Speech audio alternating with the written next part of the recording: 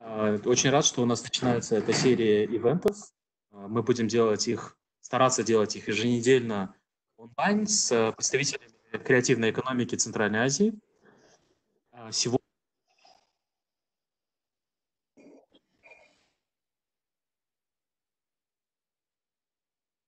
Даньяр, Даньяр, вы отключили себе э, микрофон. Да. Okay, классно. Спасибо, что сказали.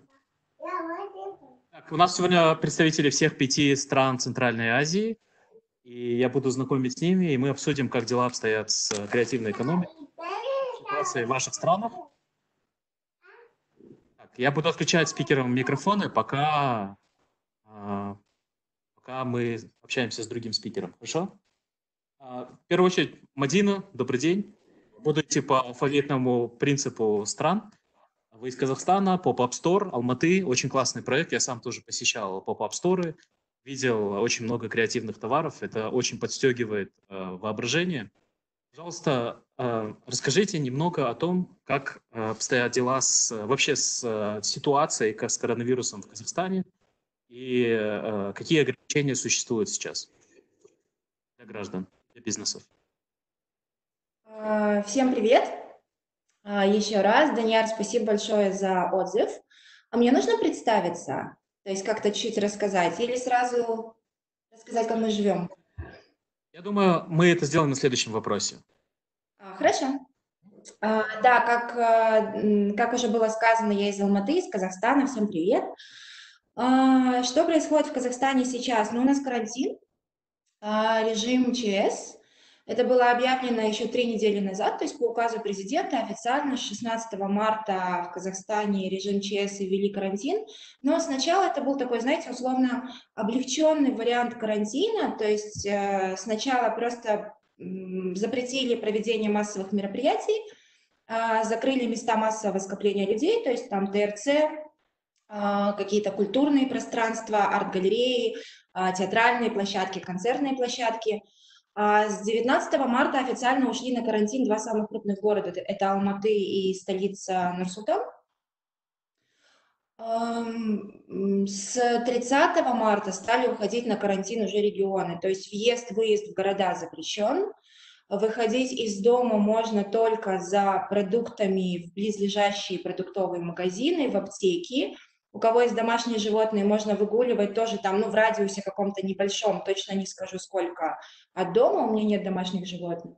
Ну, то есть всем людям рекомендовано находиться а, внутри помещения и выходить только вот в случае а, острой необходимости, то есть за продуктами либо в аптеку.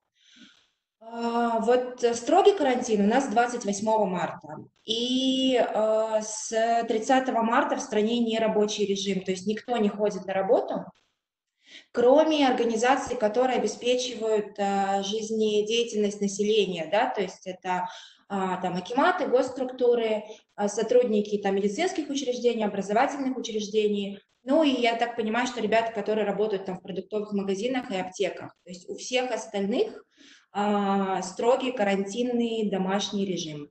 Сколько это продлится, мы пока не знаем. Вот примерно так. Классно.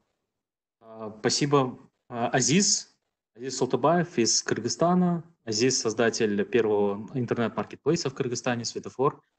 И также создатель общественного фонда KG Labs, который занимается развитием стартап-экосистемы в Кыргызстане. Азиз, пожалуйста, в двух словах о ситуации в Кыргызстане. Все так же, как и в Казахстане, в двух словах. А если более подробно, можно сказать, добавок к этому, то, что а, в принципе, население, ну, также сидит дома, как говорят, но какая-то активная группа мобилизовалась, и она на самом-то деле, как бы, учитывая слабость э, государства, оказывает э, сильную поддержку и помощь э, несколько уязвимым группам. А, и первая группа это, ну, как бы, будем говорить, такой первый IT информационное IT-сообщество, оно мобилизовалось для того, чтобы э, создать какие-то информационные системы и помочь э, государству и населению как бы с решением повседневных вопросов, получением достоверной информации, а также, э, в принципе, как бы получением всех необходимых благ через интернет. Таким образом появились ресурсы, как ОКО, ЕДУ, КГ, которые помогают а, как бы детям получать удаленное образование. Так э, появились еще определенные чат-боты и какие-то там дополнительные ресурсы для, специфические для э, медиков. Да? Допустим, э, до момента введения чрезвычайного положения не было все было, все было по старинке, как в советское время, но благодаря IT-сообществу у нас появились онлайн-инструменты, когда вот эти маршрутные листы и необходимые пропуска можно подавать онлайн. Вот это то, что я вижу как вкладом. Отдельные группы, бизнес-ассоциации составляют списку нуждающихся и оказывают там помощь. Дело в том, что как и во всех странах, наверное, Центральной Азии, во всем мире, как бы многие остались без работы, многие остались без источников дохода, может где-то не получать пенсии, при этом как бы мы стали свидетелем а, беспрецедентной девальвации. В нашей стране она как бы была там у меня мои друзья казахи всегда говорили, блин, надо всегда вкладываться в СОМ, потому что СОМ очень долгое время стоял на курсе там 69 СОМ, а буквально за последний месяц он скачал до 85 СОМ. Это очень сильно сказалось на стоимости продуктов питания. И, соответственно, как бы вот эта помощь посильная, которая оказывается сообществами на местах, очень э, помогает. Ну и, в принципе, международные партнеры тоже вносят в это сильный вклад, э, всем необходимым.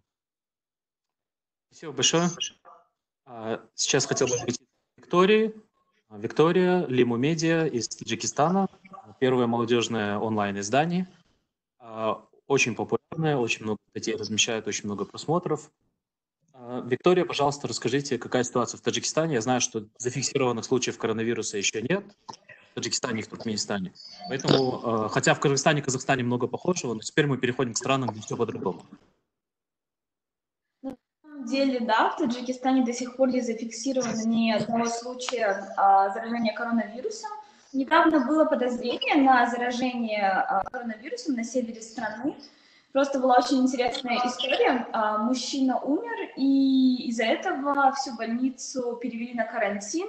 Много слухов а, ходило по городу, но официально заявили то, что у него была двухсторонняя пневмония. У нас сейчас на самом деле новости в стране делятся на по официальным данным и по слухам. Ну, вы понимаете, как это происходит. Хотя представители ВОЗ официально объявили об отсутствии коронавируса. А, вот. И у нас настолько все оптимистично, что за непосещение занятий в школах, университетах а, студенты и родители выплачивают штрафы. То есть а, пока официально не объявили сам вирус, нужно ходить на занятия, на учебу. Многие компании перешли на удаленку, но так как у нас официально, снова скажу, не объявили о случае заражения, слово «удаленная работа» ну, такое не используется. Говорят «каникулы», говорят э, «поработаем из дома». Очень э, тяжелая на самом деле ситуация, потому что все боятся, и очень много слухов ходит по стране. Мы каждый день собираем новости о том, что происходит у нас. Сейчас у нас активно работают над предотвращением распространений.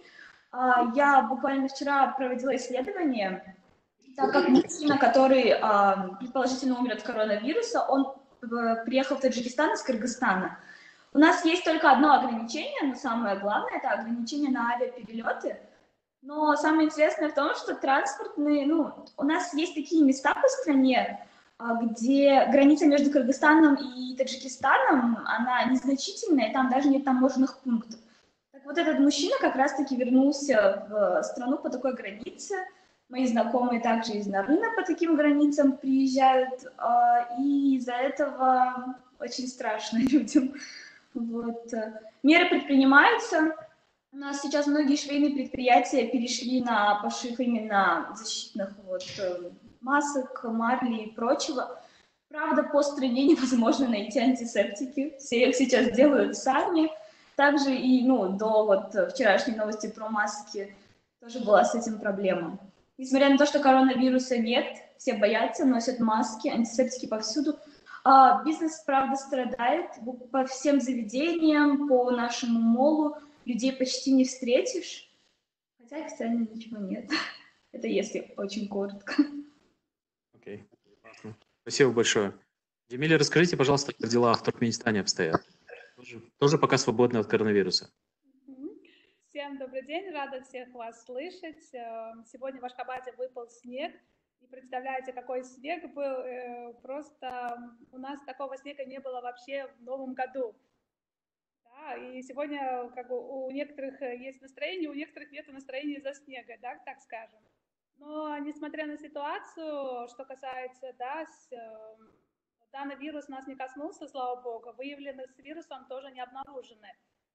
И, но правительство все равно держит руку пульсе и проводит различные мероприятия по предотвращению. Да. Увеличили также карантин а, в школах, а, ограничили массовые скопления мероприятия для проведения. И также везде ставят а, антисептики в любых организациях, куда мы не пойдем. Нужно обрабатывать руки, мазать оксалиновой мазью и после этого уже пропускает э, в какие-либо здания. А, некоторые иностранные компании, они перешли на home office, то есть они дома работают удаленно. Сотрудники, получается, они жалуются, что они хотят уже выйти на работу, то, то есть им сидеть дома скучно. Вот. И местные компании, некоторые перешли тоже на удаленную работу. Это целях э, предотвращения. А, конечно, это временное явление. Я думаю, что скоро это закончится. И маркеты у нас тоже, рестораны тоже перешли на онлайн-доставку. Вот, э, Туркменистан, сегодняшняя ситуация в связи с Понятно, спасибо. А, Хикмат, пожалуйста, а, да, извиняюсь, я не представил, что Джамиля – это а, человек, который открыл первый коворкинг в э, Туркменистане. Называется Ишно Кады.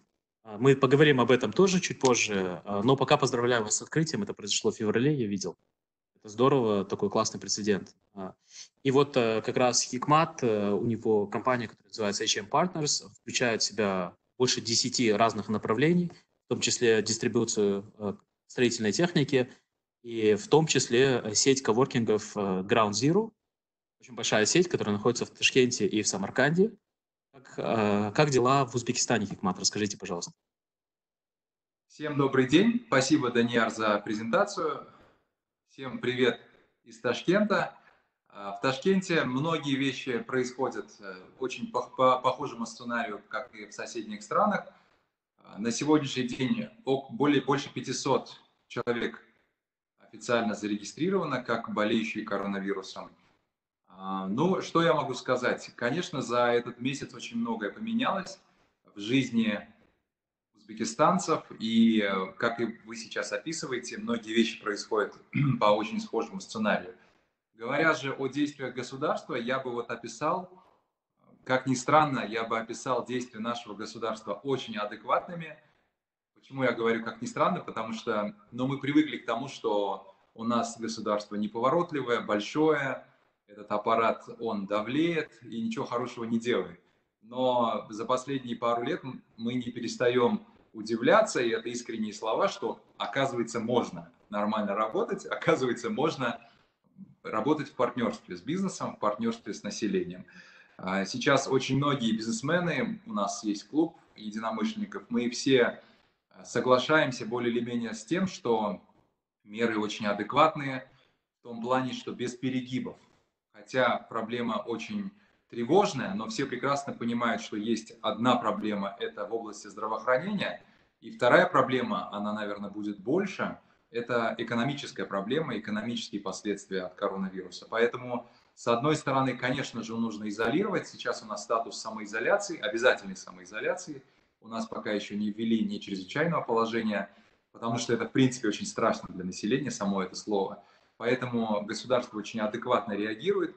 Я сам оказывался на улице по необходимости несколько раз и садился за руль, и объяснял, почему я за рулем, потому что навещал родителей, которые уже в пожилом возрасте. Я сталкивался с абсолютно адекватным отношением Национальной гвардии и местной как бы, органов власти. При том, что стоят посты, около 60 постов внутри Ташкента, организовано вдоль улиц. И э, я бы сказал, что местные, местные муниципальные органы и, в принципе, правительство реагируют очень адекватно. И говоря о, о том, что происходит в области бизнеса, я бы сказал, что Да, бизнес тоже испытывает большие трудности. Как Данияр отметил, мы работаем и в креативных направлениях, как коворкинг-центры, так и в традиционных, где мы поставляем оборудование, технику. Конечно, мы чувствуем остановку, либо очень резкое снижение активности. Мы чувствуем, что это очень сильно бьет по бизнесу. Но, как говорится, не было бы счастья, да несчастье помогло. Многие вынужденно и быстро, ускоренно переходят в онлайн. У нас, к сожалению, интернет отстает в плане развития. Это государственная монополия, по большому счету. Большой канал входит в Узбекистан монопольно. И я думаю, что государство сейчас вынуждено будет создавать рыночные условия. И в традиционных монопольных сферах мы видим, что сейчас государство осознает, что иметь открытую экономику лучше. В каком смысле? Вот сейчас после введения режима карантина очень многие ставки по таможне были обнулены, чтобы сделать продукты питания а, еще более доступными. Мы видим, что государство понимает, что, как вот Азиз сказал, а, гражданское общество может быть и бизнес может быть очень большим помощником в социальной стабильности, поэтому волонтеры очень активно помогают, особенно уязвленным э, частям населения, слоям населения, старикам, одиноким. Очень сильная мобилизация произошла в этом плане, особенно в Ташкенте это чувствуется. И э, министры, госслужащие благодарят в цифровом виде, именно онлайн благодарят и показывают свою вовлеченность очень быстро э, вот информационная такая вот подключенность осуществилась, опять же говоря о реакции. Чуть-чуть пропали? Э, да, это был звонок, извиняюсь. Открылся телеграм-канал, и э, государство открыло ежедневную коммуникацию с населением. Сейчас там больше полутора миллионов пользователей, есть телеграм-канал, и ежедневно пресс-конференции пресс-конференциях выступают э, МВД, Национальная гвардия, служба санэпидемстанции, Министерство здравоохранения. Ежедневно докладывают о прогрессе, и это приятно видеть, что наши госорганы научились работать с информацией. Поэтому в целом я бы сказал, что ситуация трудная, но не плачевная. То есть, в принципе, все адекватно реагируют. А ваш коворкинговый бизнес сейчас на паузе, да, наш коворкинговый бизнес на паузе, но тем не менее мы, наша команда очень быстро подключилась и делает сейчас бесплатные вебинары. Да, вот Даниэр, говоря о том, что делает бизнес, наши ребята бесплатные вебинары выкладывают. Я думаю, это наша общая боль в, в странах Центральной Азии, нехватка информации, нехватка аналитики и нехватка экспертного мнения о том, что происходит. Мы сидим на московских вебинарах о том, что нужно делать в финансовом плане, о том, что надо делать в плане HR – и приятно видеть, что активные бизнесмены, активные платформы, в том числе Ground Zero, ежедневно делают бесплатные вебинары, где мы слушаем и даем возможность экспертам рассказать о том, как жить во время коронавируса и как жить, самое главное, после него. Классно. Спасибо большое. Мадин, расскажите, пожалуйста, как ваш бизнес, вот как на нем отразилась текущая ситуация и э, как вы реагируете, что вы пытаетесь поменять, может быть, в своей модели, учитывая ситуацию? Алматы Pop-Up. А, я коротко расскажу, да, может быть, кто-то не знает а, о том, что это за проект. Это а, ярмарка одежды и аксессуаров преимущественно казахстанского производства.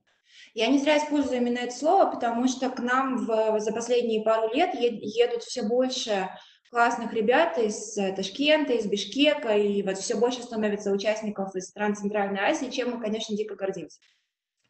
А, проект был основан 7 лет назад, то есть на сегодняшний день мы сделали уже 15 сезонов, он разрастается, он становится все больше.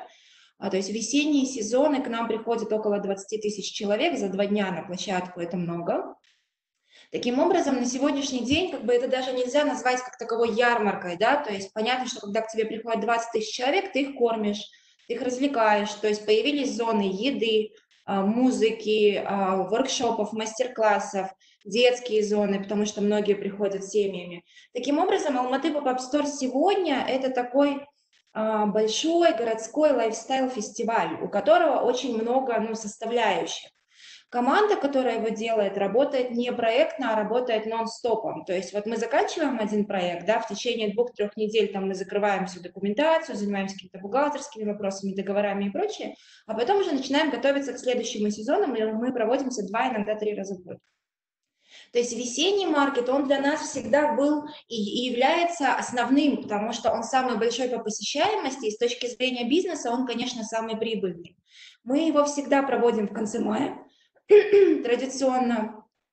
И на момент, когда все карантинные меры у нас в стране были объявлены, мы как раз готовились объявить локацию следующего сезона маркета. Мы начинаем работу обычно в январе, то есть январь-февраль идет работа нашей внутренней команды, когда мы находим площадку, договариваемся, делаем схему зонирования, архитекторы работают, там достаточно большой подготовительный процесс, а в марте мы уже готовы официально объявляться и говорить, мы готовы принимать заявки, то есть мы озвучиваем дату, локацию, условия и готовы к обратной связи от аудитории. Вот именно на этом этапе у нас э, вся деятельность была поставлена на паузу в марте этого года. То есть что происходит сейчас? Сейчас, разумеется, мы на паузе, и а, по нам это, с одной стороны, ударило сильно, потому что мы являемся массовым мероприятием. То есть даже если заканчиваются а, карантинные меры и становится все чуть-чуть посвободнее, люди начинают ходить на работу и прочее, когда снимут запрет на проведение массовых мероприятий, это большой вопрос. А, таким образом, мы сейчас внутри команды работаем над оптимизацией процессов. Немножко расскажу про наши какие-то технические детали, да, как готовятся ярмарки, ну, например, у нас вот в Казахстане, потому что АПС является, ну, самой крупной ярмаркой в и вот, может быть, коллеги мне подскажут, но, насколько мне известно, он является самой крупной ярмаркой в Центральной Азии. То есть я приезжала как раз-таки на форум Creative Central Asia в Ташкент, и мы разговаривали с ребятами вот из шести стран, и, собственно, вот э, как бы такую информацию мы получили. А, в постоянной команде проекта 10 человек, у нас офис в центре города, то есть 7 лет проект существует, и чем мы гордимся сейчас, мы никого не уволили. То есть в текущей ситуации все перешли на удаленку и находятся сейчас в таком, знаете, полуотпускном режиме, да, потому что все работают, но понятно, что не с 9 до 7 а, такая вот частичная занятость у всех, мы а, смогли как-то Конечно, у нас была какая-то финансовая подушка, к счастью, но, к сожалению, она не резиновая. И так как у нас нет сейчас прогнозов по тому, как долго вот эта ситуация неопределенности продлится, естественно, мы не можем, знаете, как прогнозировать, насколько нас хватит. И я знаю, что такая ситуация не только у нас, а как раз-таки у многих а, ребят, задействованных в секторе креативного творческого бизнеса у нас в стране. Таким образом, какие меры мы предпринимаем сейчас? То есть, да, мы поставили на паузу. Ну, то есть процесс подготовки любого городского массового мероприятия, он, по сути, состоит из двух частей. То есть одна техническая, логичная, всем понятная, вторая, она идейная. То есть вот, наверное, сейчас как раз-таки вот этой идейной частью мы и занимаемся, в том числе и продумываем оптимизацию всех процессов, в том числе и диджитализацию. Все, что мы можем перевести в онлайн, мы стараемся это делать. То есть вот то, на что в обычном режиме никогда не хватало рук, собственно, вот не хватало времени, да, сейчас мы там всем этим занялись. И на данный момент, конечно, мы занимаемся еще и финансовыми вопросами, то есть мы считаем убытки и пытаемся понять, во сколько нам станет весь этот простой. А, и мы для себя разработали на данном этапе там три варианта сценария, то есть оптимистичный, пессимистичный и какой-то такой средний, да, посередке. При оптимистичном а, мы там выходим на работу через месяц, и, в принципе, наша финансовая подушка нас спасет тогда, и мы продолжаем работу. А, средний – это если мы сможем провести следующую ярмарку, например, летом или хотя бы в конце лета, ближе к осени. То есть тогда мы а, переводим часть процесса в digital и таким образом, опять же, сможем продержаться до этого времени. Ну и третий, самый пессимистичный, если ярмарки в этом году не будет вообще. Ну, то есть потому что сейчас, да, мы все следим за официальными заявлениями правительства и понимаем, что никто не может дать э, каких-то точных прогнозов по тому, как долго это продлится. Есть э, ряд ученых, которые рассуждают о сезонности вируса, например. То есть если летом будет спад, а к осени опять э, ну, как бы будет скачок, что будет в таком случае? И мы, разумеется, это просчитываем тоже, и думаем сейчас над, а, например, вот а, над тем, чтобы создать marketplace на базе Алматы Pop-Up Store, но нужно понимать, если это в долгосрочной перспективе, да, то хорошо, если сейчас люди держатся на каких-то там своих прежних запасах, то к осени у большинства населения просто закончится вот любая финподушка, и понятно, что люди будут деньги тратить в первую очередь на FMCG продукты, то есть ну, вот, на то, что им нужно есть, а, ну, то, что им нужно каждый день. Но наш бизнес очень тесно связан с какими-то красивыми и классными а, штуками, сувенирами, вещами, с product-дизайном, с fashion-дизайном. То есть это такой товар, который не приоритетный. Таким образом, мы сейчас очень детально думаем, как может выглядеть этот marketplace, насколько он может быть полезным. То есть так как у Пупапа есть а, такая большая зона мастер-классов, воркшопов, большая эко-зона, то есть, возможно, мы просто переориентируемся и сделаем упор там на вот эти вещи. А, в целом, мы вот как раз-таки вчера обсуждали с э, Галиной Корецкой сложившуюся ситуацию в сфере именно креативного бизнеса. И знаете, есть такой жирный плюс у этого всего, который мне хотелось бы отметить, он, наверное, прозвучит немножко успокаивающе, а, ну, для нас, для всех, и, возможно, для аудитории тоже. То есть специфика, скажем так, творческого бизнеса в том, что в основном он состоит из людей самозанятых. То есть мы, по сути, все когда-то сами себе придумали работу, придумали дело, и из сезона в сезон как бы вот этим занимаемся. Чем это классно? Это классно тем, что э, работать в условиях какой-то финансовой неопределенности в долгосрочной перспективе для нас это такая некая норма, к которой мы, в принципе, все привыкли. И я думаю, что вот именно в сфере креативного бизнеса вот меньше панических настроений в связи с сложившимися обстоятельствами, потому что, ну вот, эта сфера бизнеса, она же такая, самое главное, человеческий потенциал и его идеи. То есть это люди, у которых есть самое главное, они очень гибкие. То есть я уверена, что в команде каждого из моих коллег сегодня все ребята такие многозадачные то есть который умеет очень быстро перестраиваться. Именно поэтому мне сфера творческого бизнеса кажется более устойчивой к вот такого рода катаклизмам. И, конечно, не секрет, что правительство вот стран а, азиатского региона всегда больше внимания уделяли, скажем так, более таким а, а, приоритетным для них сферам экономики, да, где все можно посчитать, перевести в цифры и очень быстро там, а, понять, где доход, где расход, где чистая прибыль. Конечно, творческое предпринимательство, оно менее, его, его сложнее посчитать, но есть ощущение, что оно как раз-таки более стабильное, потому что в большинстве своем оно состоит из маленьких бизнесов, которым а, которые дольше могут продержаться на плаву, потому что крупные корпорации, они очень, ну, как бы, им сложнее, у них ежемесячный расход вот такой, огромный, а нам как-то попроще, мне кажется. Ну, сейчас об этом тоже порассуждаем. А, как раз, э, мне кажется, вам будет полезно, Мадин, познакомиться с Азизом, если знакомы. Азиз создавал первый маркетплейс в Кыргызстане и онлайн-маркетплейс еще в студенческие годы. Как Amazon начинал с книг, и у Азиза, конечно, огромный в этом. Азиз, а, как э, ваш бизнес поживает сейчас, э, как он реагирует, что вы изменили для того, чтобы адаптироваться к ситуации? Или просто все? Ну, на самом деле, как говорится, вот если брать период до э, этого, в принципе, как бы информационные технологии в первую очередь, наверное, задела все эти uh, сообщения информационные, как и для начала это был достаточно удар, да, который, негативно сказался и, может быть, застал врасплох гораздо раньше, чем другие сектора экономики, которые как бы зависели от внутренних поставщиков и торговых площадок, да, и это, соответственно, вызвало определенные а, перебои с cash flow, но, однако, вот, а, знаете, как бы постоянный поиск э, всех необходимых решений нас привел к тому, чтобы мы больше адаптировались, да, там, если, как говорится, благодаря тому, что где-то там э, с началом карантина мы э, спокойно перестроились на удаленную работу, штат сократился, а, но однако, как говорится, продуктивность выросла, и, в принципе, все сейчас э, на ремоут режиме, в принципе, удаленно работают. А, первое время для всех поставщиков, продавцов это было шоком, и все ожидали и не верили в все, все что случилось, так но мы, в принципе, были готовы, и наоборот, можно сказать, такое со второй недели начала карантина, а у нас, в принципе, дела пошли вверх. Просто пошли вверх. Они идут и так далее. У нас количество заказов, продаж, в принципе, все просто растет, да. Электронным э, торговым площадкам... Растет по сравнению с первой неделей или растет по сравнению с тем, как обычно?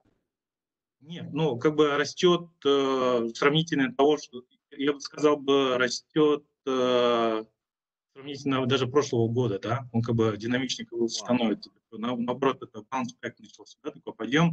Это было достаточно неожиданно. И, но, тем не менее, как бы это, это очень положительная динамика, которая, в принципе, э, имеет э, ну, как бы хорошие основы для того, чтобы мы как бы, в дальнейшем э, могли успешнее развиваться. То есть маркет, если мы это уже реализовали, уже пытались реализовать уже 5 лет, в течение 3 года, как это делали, где-то были позитивные моменты, где-то негативные, но сам факт того, что как мы работаем. Да? А сейчас у нас, в принципе, нормально полностью перестроились. Мы, помимо текущих традиционных направлений, учитывая, что 70% сейчас э, заблокированы, поставщиков, продавцов, э, только 30% готовы работать, э, перестроились и запустили, условно говоря, Академию «Светофор». Это образовательная платформа для обучения наукам электронной коммерции, которую мы прорабатываем. Второе – это доставка продуктов питания. А третье – это а, food delivery, это как бы доставка еды вот с ресторанов и кафе, и, в принципе, медикаментов. Вот, вот эти направления, которые мы сейчас подключаем. А, появляются совершенно новые продавцы на площадке, это те, которые раньше были, может быть, швейные фабрики или магазины, и они вдруг сейчас стали, как говорится, э, ну, они начали сейчас а, заниматься самопошивом масок всех необходимых, да, и вот медицинских, и всего необходимого для текущих, может, там, антиперспираторы, какие-то локтевые дозаторы, а, и вот такие категории товаров а, и услуг. Ну, в целом, как бы это наоборот, те вещи, которые, допустим, мы как бы пытались и где-то там успешно, где-то безуспешно как бы донести до а, предпринимателей секторе малого и среднего бизнеса, да, сейчас станет, уже как бы стала реальностью, и они, наоборот, идут к нам встречу. У нас, в принципе, как говорится, ну, как бы ситуация, я бы сказал, бы даже как бы улучшается, скажем, днем. Да, то есть э, мы не рассматриваем такую ситуацию, что, как говорится, вот в какой-то момент это все прекратится и будет все как прежнее. То есть мы исходим из того, что был мир там до этого коронавируса, и мир будет после него. И благодаря и тому есть несколько факторов того, что а, благодаря этой самоизоляции у, произошел, а, скажем так, а, первое а, преодоление цифрового разрыва внутри страны, географического, да, когда как бы, какие-то части стран а, не были подключены, не обладали необходимыми цифровыми навыками. А в случаях из-за самоизоляции как бы, они вынуждены как бы, использовать интернет и все эти технологии в большем количестве и объеме. А второе – это демографический, когда определенные возрастные группы не были подключены, просто не пользовались. А сейчас а, в силу того, что есть и э, профессиональные потребности, и прочие потребительские потребности, э, они как бы вынуждены учиться. То есть будем говорить, что сейчас Zoom видеоконференц и другие системы видеоконференции пользуются все. То есть учителя старшего поколения, там 50-60 лет, которые не обучались раньше, сейчас вынуждены учиться.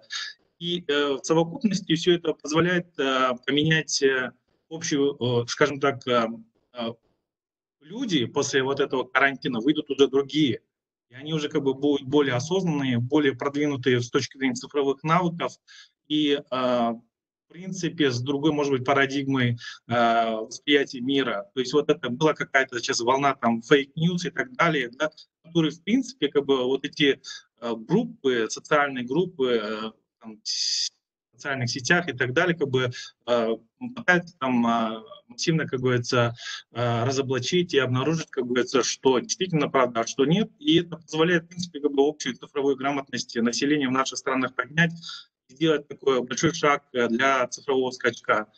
А, допустим, с точки зрения государства, ну, допустим, каждое из наших государств, из, из нашей страны, наверное, принят цифровую стратегию трансформации, реализует, и были какие-то моменты, э, прорехи, э, когда кто-то а, какие-то там органы там не выполняли или противились ему этому. Да? Благодаря а, как бы, коронавирусу они были вынуждены и э, для их же безопасности предоставлять эти услуги удаленно. Да?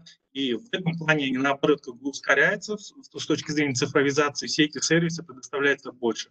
Ну, будем говорить, у нас там справки с социального фонда там, неимение каких-то там задолженностей или для получения там пенсии, да, необходимо было получить определенные бумажки все эти вещи, в принципе, можно будет теперь получать удаленно, и количество взаимодействий, ну, как бы общая скорость взаимодействия в обществе, экономическая активность, она э, уже вырастет на определенную энную величину, что является, в принципе, положительным фактором. То есть, э, я думаю, в принципе, хорошо. С точки зрения общественной деятельности, если ранее как бы, мы тоже как бы не э, встречали непонимание а, со стороны партнеров по развитию или других товарищей и даже государства, почему нам нужно цифровизацию делать или как бы проводить какие-то мероприятия в этой сфере, то сейчас, наоборот, поступают определенные новые как бы, запросы, заявки для того, чтобы мы реализовывали эти проекты. И это, в принципе, началось буквально там а, со второй недели осознания, что это у нас будет надолго. То есть э, где-то, скажем так, а, возможности закрываются, а где-то возможности открываются. Я думаю, еще одним большим фактором, и, два ключевых фактора тренда, которые происходят, это изменение цифровизация здравоохранения и цифровизация сектора образования вообще исторически было связано, что эти сектора наиболее менее подвержены всем этим реформам и менее как бы подвижны. Что происходит? То, что сейчас большинство все идет к тому, чтобы у нас э, узаконили телемедицину, удаленно, и э, второе удаленное обучение. А, э, если эти два фактора а, как бы станут пойдет вперед, то это значит, что в принципе любой ученик, либо студент, находясь э, в Кыргызстане или за пределами, может получать образование там на таких платформах, как Coursera, Udemy, и в принципе как бы поменяется система образования в целом. То же самое произойдет с телемедициной. Сейчас, в принципе, как говорится, де-факто она есть, но юридически она ничем не закреплена. Если эти параметры будут исправлены, то э, это тоже открывает огромный пласт возможностей для медиков, э, для врачей и ну, других специалистов тоже. Я думаю, именно как бы в сфере консалтинга и образования. Понятно, классно. Как раз поговорим об этом еще, о том, как, э, может быть, те креативные бизнесы, которые пострадали, могут адаптироваться, учитывая, что все-таки открываются эти возможности. Пока я еще хотел спросить, вот, э, Джемиля, расскажите, пожалуйста, как открылся ваш коворкинг, как идут дела, и ситуация с коронавирусом как-то вообще на вас отражается или нет? Эм, мы открылись 11 э, февраля, официальное открытие было 11 февраля 2020 э, года. Мы пустили волну в Туркменистане, что такое коворкинг-центр. Есть а, практически а, наше население, они не знали, что такое коворкинг-центр, и для них было это интересно, что за пространство и эм, что здесь вообще предоставляется. И до сих пор люди приходят а, с интересом и спрашивают, а что у вас здесь происходит, да? Несмотря на это, мы сейчас проводим различные мероприятия для того, чтобы развивать малый и средний бизнес э, в Туркменистане. Э, и сейчас вот эм, очень э, многие интересуются, приходят, им нравится, те, которые уже пришли, побывали, мы проводим мини-экскурсию по коворкинг-центру, им интересно здесь находиться, в том числе и поучаствовать в различных мероприятиях, которые мы проводим. То есть это тренинги, семинары, форумы и э, те же самые обучающие мероприятия. Мы вот для того, чтобы привлечь э, в данный момент, эм, а, скажем так, резидентов, чтобы в working-центре, что здесь эм, а, происходит, нетворкинг делаем, воркшопы делаем, да, чтобы они имели. И Даньяр, эм, вы поделитесь э, с профессиональным опытом в конце семинара, как мы могли бы дальше развивать свой коворкинг-центр в Казахстане, потому что мы как бы первая компания а, сейчас, которая реализовывает данную идею, и чтобы она не перегорела, да, чтобы народ уже понимал того, что есть такое бизнес-пространство, где здесь круто находиться, продуктивность у них увеличивается, и они себя здесь а, чувствуют важными, скажем так, да. А, и 24 марта вот мы провели День креативной экономики, решили провести, чтобы, да, чтобы немножко уже наше население понимало, что такое креативная экономика. Мы-то сами-то э, начали понимать после того, как мы приняли участие в э, форуме креативной да, форуме, да, да, да. Вот после этого мы э, начали понимать, что, что такое креативная экономика, но некоторые это не понимают, что такое креативная экономика. Вот для этого мы решили провести именно вот День креативной экономики. И более подробно рассказала э, наша замечательная ГНЭ, с британского посольства, и она дала информацию, какие есть плюсы-минусы, плюс еще статистические данные по Великобритании. И И слушатели, когда уходили с форума, они оставили фидбэк, и они сказали, что вот теперь мы понимаем, что такое креативная экономика. Да? Они а, слышали про креативную экономику, но а, что подразумевает себя креативная экономика, они до этого не знали. После того, как спикеры они выступили, они эм, делали мастер-классы, даже те самые творческие люди, они проводили мастер-классы, чтобы они, слушатели, чувствовали такой интерактив и понимали, куда они пришли и, и с чем едят это, скажем так, креативная экономика, да. Вот. И сейчас э, как бы нас, нам не запрещает именно такое э, скопление, из-за этого мы проводим различные тренинги, семинары тоже в коворкинг-центре, для того, чтобы больше народ э, там привлечь в коворкинг-центр, чтобы они э, понимали, что такое нетворкинг тоже, да, масса. Вот, и 28 планируем э, креативный ивнинг сделать, то есть вечер креативной экономики, то есть будет выступать э, наша фрилансер, она тоже была в Ташкенте, э, Саша Иркаева. Она будет э, рассказывать про фрилансеров, э, которым можно, сидя дома, зарабатывать, и про свой успех. Да, вот, э, чтобы да, фрилансеры тоже понимали, что можно сидя дома, тоже сидеть и зарабатывать. И плюс еще тот же самый коворкинг использовать для того, чтобы развивать свой бизнес. Она будет именно сопоставлять две темы.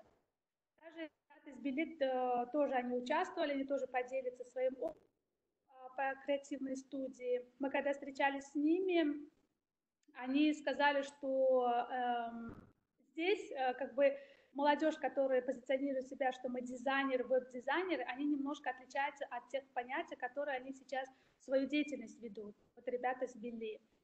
И обсудили то, что у нас нехватка специалистов, а, тех же самых и дизайнеров. Да, и, и у нас здесь uh, зародилась, да, зародилась идея проводить семинар по профориентации.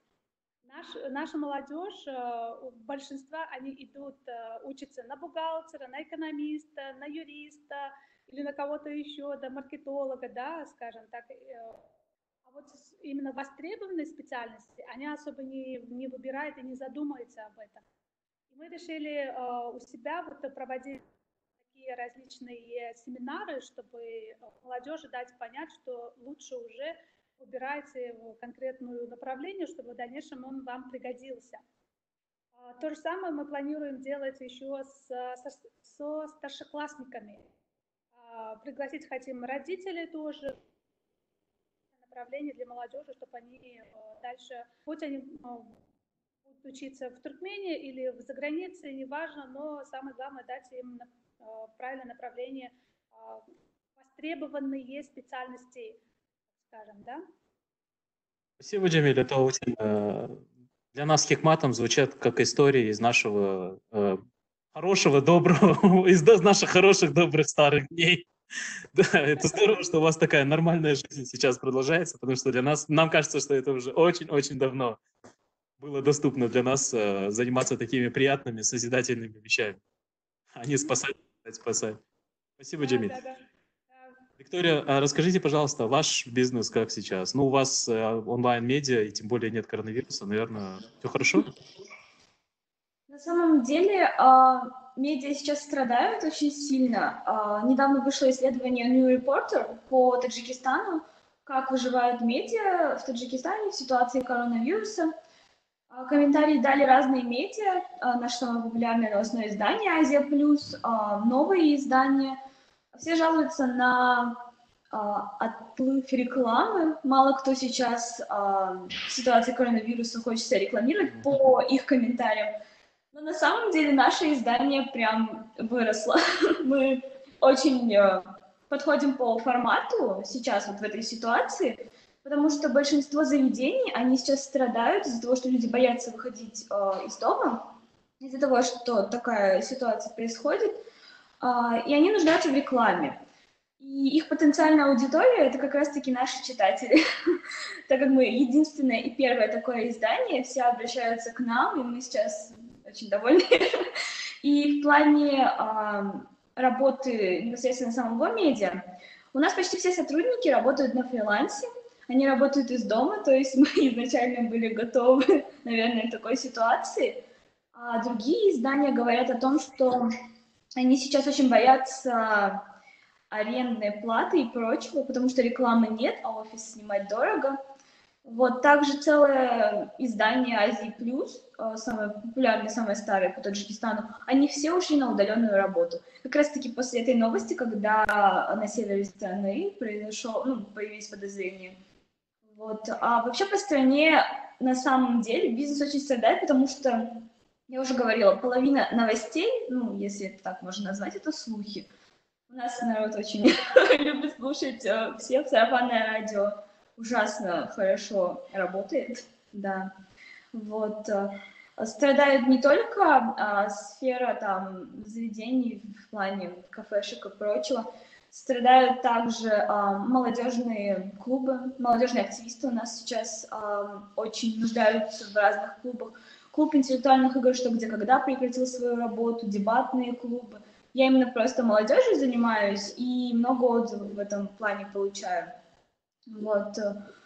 Несмотря на то, что коронавируса нет, люди подозревают, что он есть, и сейчас у нас креативно к этому подходят, у нас начали шить национальные маски медицинские, ну,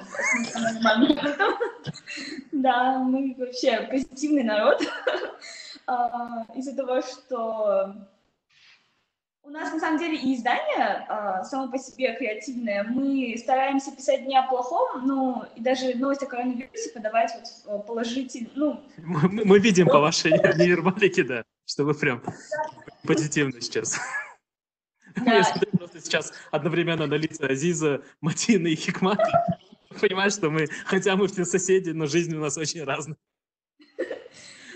Да, у нас Коронавирус, ха-ха-ха, все дома сидят и читают наши медиа. Классно. Мы, мы рады за вас. На самом деле это так и происходит. А, у нас начали сначала шить национальные маски, просто как э.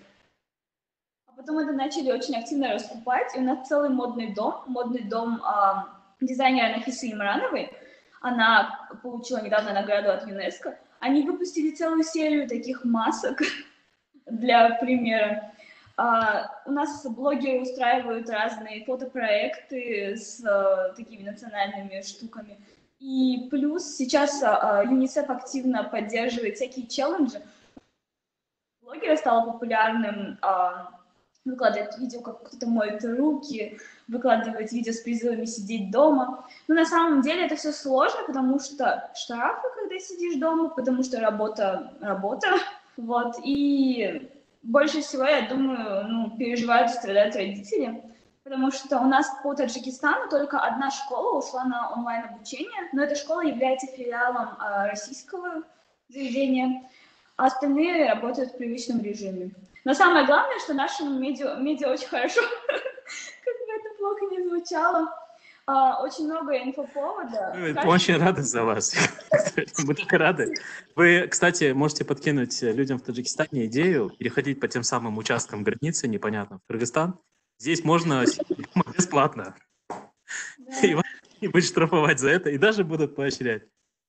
Спасибо большое. Э, Хикмат, я вас прошу, э, сейчас вот, начали уже говорить о том, что а, начали делать вебинары ежедневные, и что это вас тоже подтолкнуло, и, может, какой-то boost да, этому придало.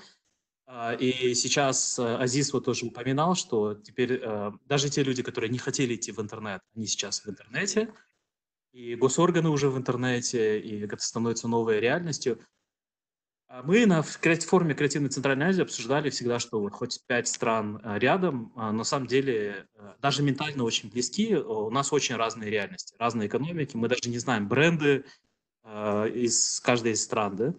Вот, а не настало ли время для большей гораздо кооперации центральноазиатских стран сейчас? Вот что мог бы э, сектор креативный, вот центральноазиатский сейчас сделать совместно Потому что раз уж мы в интернете, то значит границ тоже особо уже нет. Почему бы нам не сотрудничать? Таджикские шейти и в Казахстане, и в Узбекистане, к примеру, тоже. Ну, в своем национальном стиле. Да. Пример. И какие-то другие вещи. Что вы думаете? Даниэр, спасибо за вопрос. Ну, на самом деле, вот благодаря вашей инициативе мы это продолжаем делать. обмениваться опытом, очень интересно слушать наших коллег из соседних стран и смотреть, кто что делает, потому что это подталкивает и нас на какой-то дополнительный, мне кажется, какие-то действия. Вообще однозначно более применим опыт соседних стран, нежели смотреть, что происходит по CNN или там, что происходит в Сингапуре. Это абсолютно другая реальность, другие финансовые возможности. Поэтому однозначно вот подобного рода обмен опыта, он должен происходить независимо от вот этих наших текущих проблем. Говоря же о том, что в Узбекистане меняется и как можно продолжать это сотрудничество делать в режиме сегодняшних дней, однозначно я считаю, что это надо делать. А, вот, ну, за последний год статистика показывает, что Узбекистан очень сильно открылся для стран Центральной Азии. Количество посетителей в Узбекистан, когда туризм еще был а, очень в тренде, когда индустрия туризма развивалась, а, в цифру увеличилась за год в два раза. На сегодняшний день по примерным оценкам где-то 6 миллионов человек посетило Узбекистан, и примерно 55% это были страны, это были соседние, непосредственные страны. То есть вы можете увидеть, что эта цифра резко увеличивается, и из слов коллег мы слышим, что какие-то мероприятия происходят в Ташкенте, какие-то ташкентские эксперты выезжают с удовольствием, то есть с Узбекистана я имею в виду.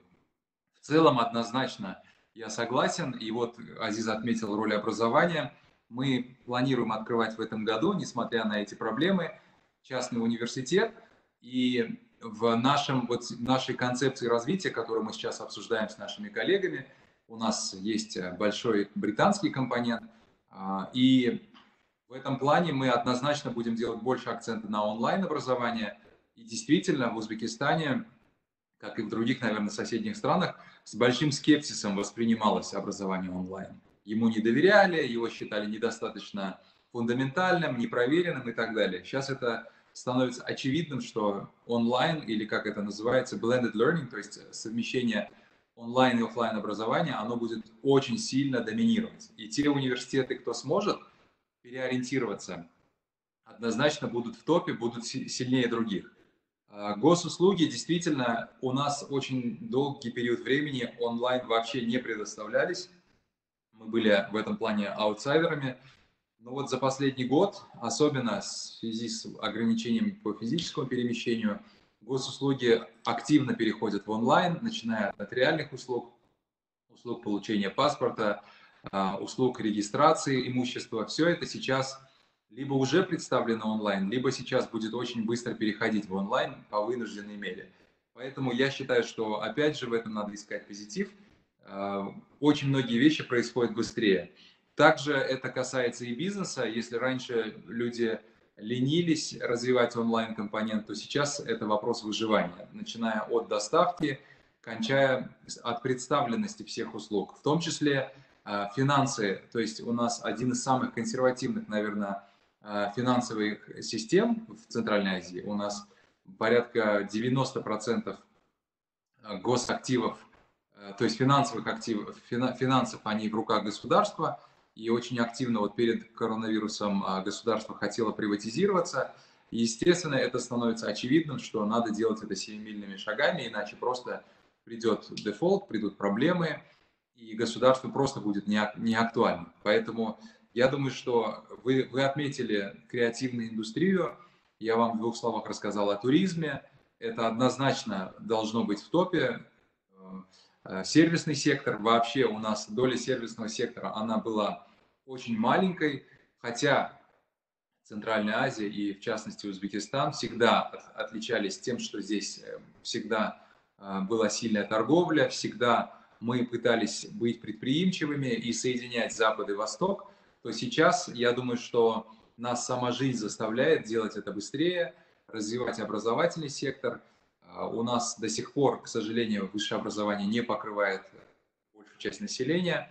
И мне кажется, государство понимает, что без быстрых реформ сейчас ну, просто население очень сильно обеднеет.